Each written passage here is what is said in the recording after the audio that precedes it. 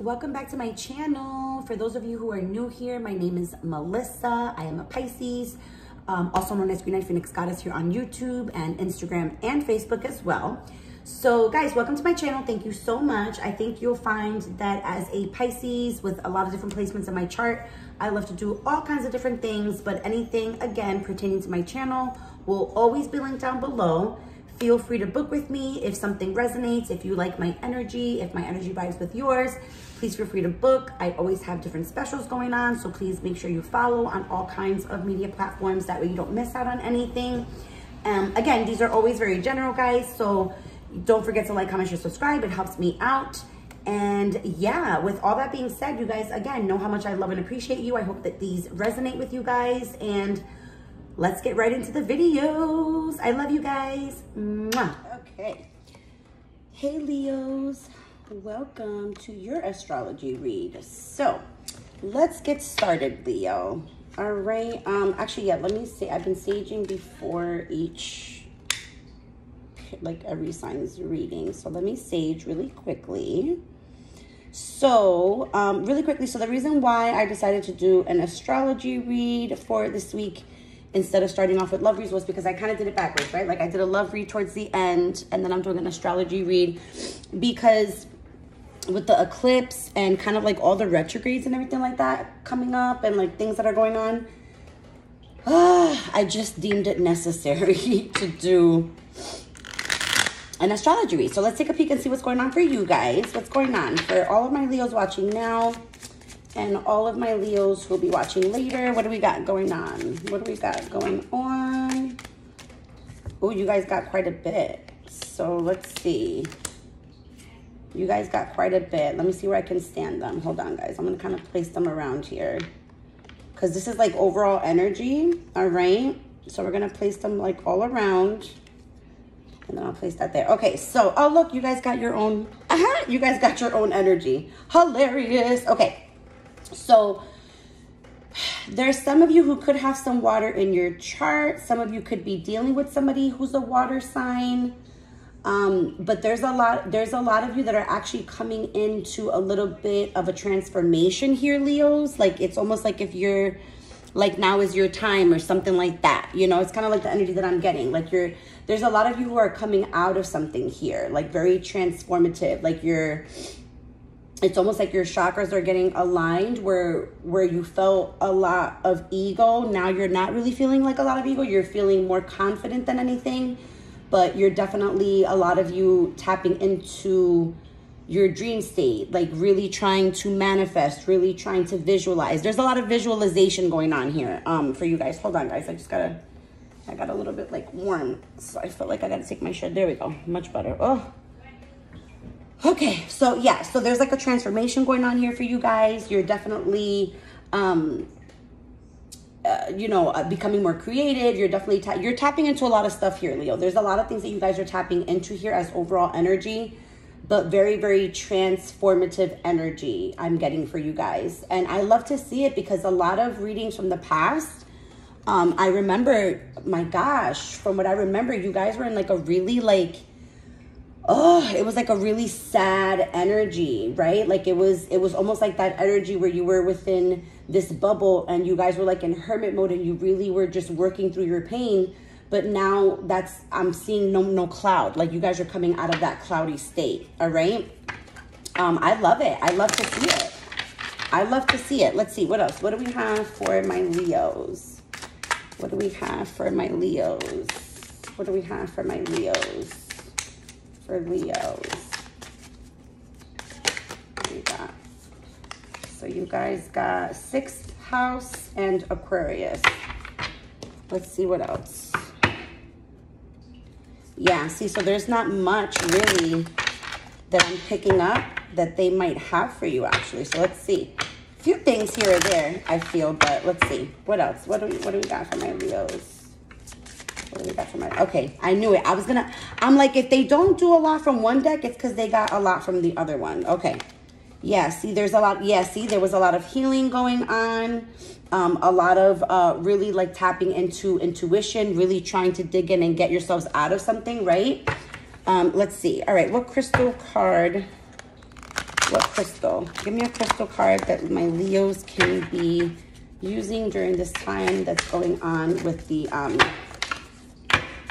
the eclipse energy and all of the retrogrades coming together. Like, let's see what's going on.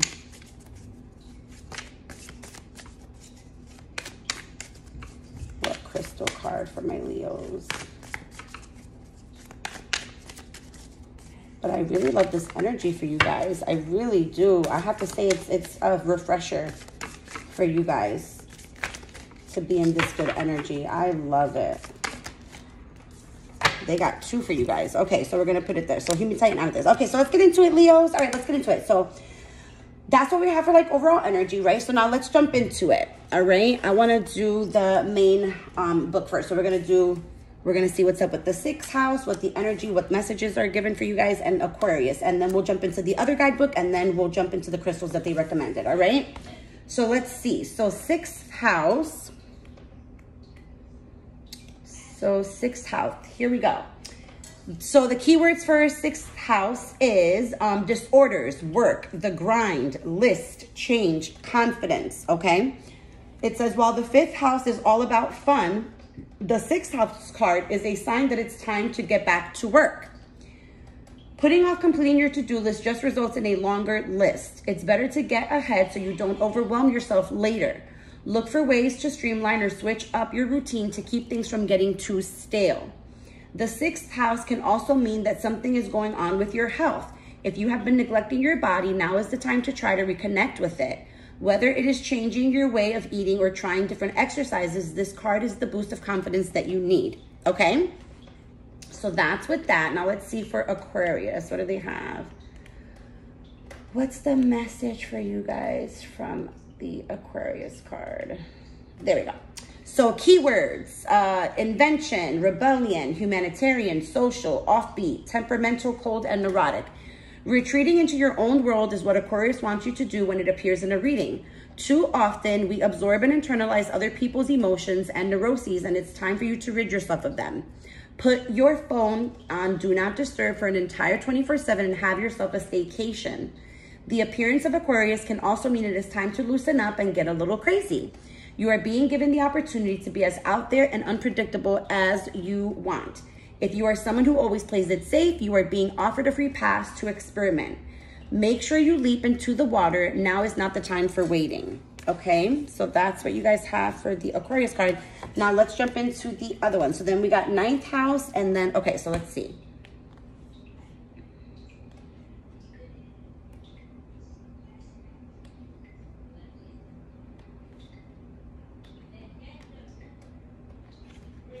I said ninth house, right? Yes, so ninth house. Okay.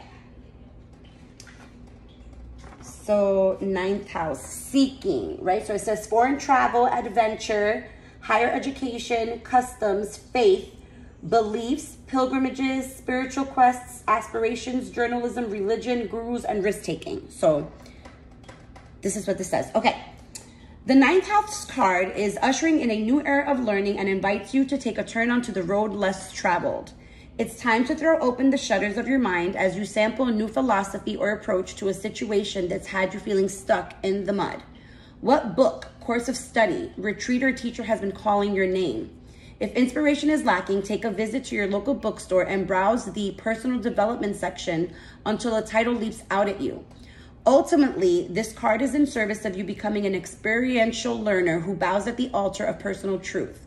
Journal prompt the teacher you have learned the most from, and how you are embodying their wisdom. So like thinking of like um, a person, right, that like inspires you. Let's see. Chiron, so healing. So healing powers, growth, amends, release. I want to show you guys personal development, inherited issues, self-doubt, generational trauma, shame, sensitivity, forgiveness, superpowers, divinity, cleansing, softness, and pain. Okay, so it's so this card's arrival signals a time of deep cleansing and restoration at a cellular level, which starts with the capacity to abide with and allow your wounded places to rise to the surface. The invitation now is to slow down, melt in, Notice where you've been attempting to explain or analyze a persistent sensation out of existence and commit to inviting it in for some TLC instead. Seek to realize that the release itself comes from not turning away, that the way out is always truly through. What do you need to help you soften to your tenderness right now? Journal prompt. List five things that make you cry and why. All right, and then finally, let's go to the moon card. So the moon, so it says feelings. Show you guys. Instinct, nurturing, gut reactions, comfort, digestion, home, family, conditioning, habits, femininity, lineage, privacy, embodiment, emotions, sustenance, self-soothing moods, and mother. So it says, what is your gut telling you that you haven't been paying attention to? Your instincts about the situation you are faced with are spot on. So how can you help yourself to trust what you know in your heart to be true and make your next choice from this place? The moon is here to remind you to take whatever steps you need to feel safe and secure in your decision-making process. Perhaps this means more alone time to nurture your nervous system, preparing yourself a nourishing meal, stepping up your self-care, Seeking supportive, empathetic counsel now could also help you tune in. Journal prompt. Write a to-do list from your intuition. Okay? I love that. Oh my God, I love it. I love it, I love it. Okay. The two crystals that can help you during this time is hematite and then amethyst. So amethyst says, get drunk on your highest self. Amethyst is a lilac to dark purple semi-precious gemstone from the quartz family. The ancient Romans believed amethyst got its lush purple color when the god Bacchus spilled wine on a clear stone. Today, amethyst is believed to assist in connecting with a with the big guy in the sky. Who needs it? Train wrecks who go off the rails on the wet and wild route to Bacchanalia Uh, any Pisces. Where to put it? The interior decorator's little purple secret. Amethyst can uplift the vibe of any living space. When to use it. When it's time to give up the victim routine and start living with purpose, hold on tight to amethyst. Okay? And then hematite. It says align to your wholeness. What it is. Hematite is a metallic charcoal that takes its name from the Greek word for blood. Like blood, it's full of iron. And like blood, hematite moves the good to where you need it and takes the bad away from where you don't. Who needs it? Anyone stagnating or spun out on something, like a new crush or a lifelong existential dilemma where to put it, wherever you are when you realize it's time to come back to earth, when to use it, when you feel stuck, when it's that moon time of the month. Isn't that funny? Check it. Moon time of the month. Isn't that funny? Um, when you want to pull energy from the earth below and use it to make big things happen. It says align to your wholeness. Okay? All right, so Leos, I hope that was helpful. Um, let me know. Definitely let me know. Don't forget to like, comment, share, subscribe. You guys know how much I love and appreciate you so much. And I will see you guys in the next one. Bye, guys. Mwah.